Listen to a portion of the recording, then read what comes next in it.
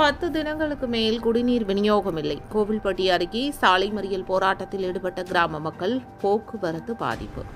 தூத்துக்குடி மாவட்டம் கோவில்பட்டி அருகே உள்ள சிவந்திப்பட்டி ஊராட்சிக்குட்பட்ட கரிசல் குளம். இந்த கிராமத்தில் நானூற்றி ஐம்பதுக்கும் மேற்பட்ட குடும்பங்கள் வசித்து வருகின்றன.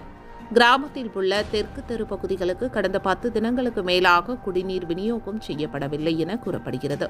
இதனால் ஆத்திரமடைந்த பகுதி மக்கள் கோவில்பட்டி பசுவந்தனை சாலையில் சாலை மறியல் போராட்டத்தில் ஈடுபட்டனர்.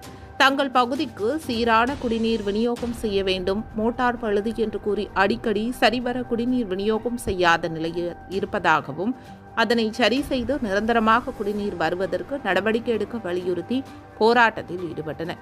இதுகுறித்து தகவல் கிடைத்தும் கொம்பம்பட்டி போலீசார் சம்பவ இடத்திற்கு விரைந்து சென்று போராட்டத்தில் ஈடுபட்டவர்களுடன் பேச்சுவார்த்தை நடத்தினர். சீராக குடிநீர் வழங்க நடவடிக்கை எடுக்கப்படும் என்று போலீசார் உறுதியளித்ததைத் தொடர்ந்து போராட்டத்தில் ஈடுபட்டவர்கள் தங்களது போராட்டத்தை கைவிட்டனர். இதனால் அப்பகுதியில் சிறிது நேரம் போக்குவரத்து பாதிக்கப்பட்டது.